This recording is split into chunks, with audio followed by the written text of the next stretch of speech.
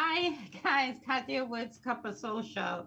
All right, lots going on this season, as per usual. So, Patrick, let's start with you. Your character was in the background last season, and this season you're front and center, and we're not quite sure who you are.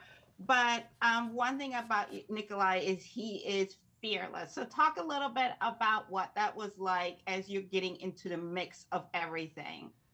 Yeah, I think that's such a great way to describe him. And I think, you know, I think he's somebody who takes on so much and has to show so much kind of strength and, and responsibility. And I think he feels the fear in a way. There's a great bit in the book where he talks about um, when he was Sturmhond and kind of establishing his name, um, that he he had to like cut somebody's finger off and mm. and that like he showed this brave face, but then behind closed doors he was like sobbing about it. And so I feel like that's kind of like a relatable thing. Like mm. sometimes you've got to, you know, like move through that fear. And uh, yeah, I love that about him. I think that's such a such a cool thing. And as well as you, Lewis and Anna, you guys are new to the fold too. When we first meet you, we're not quite sure. Are you good? Are you bad?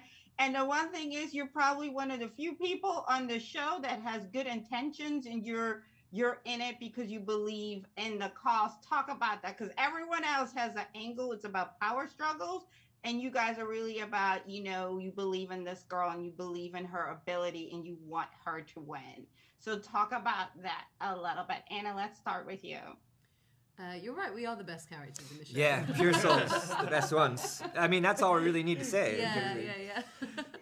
um, no, I think that they um, their sort of defining characteristics is you know is loyalty. They have it between themselves, and then once they their sort of belief and decisiveness as a pair is just really unshakable.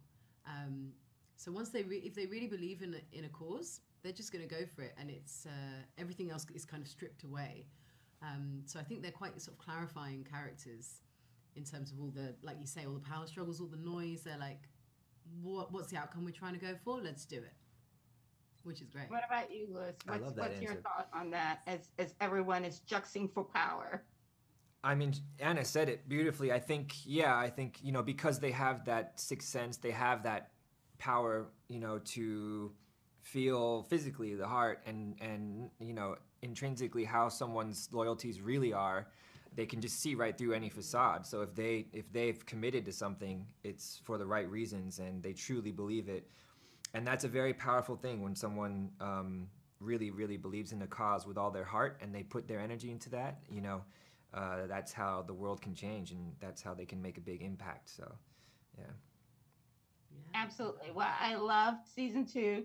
Can't wait for the rest of the world to see it. And it was so much fun figuring out where everyone stands and learning new things about our favorite, you know, navigator, so to say, in this very interesting space. So We're glad you liked it. Thanks. Thank you. Bye.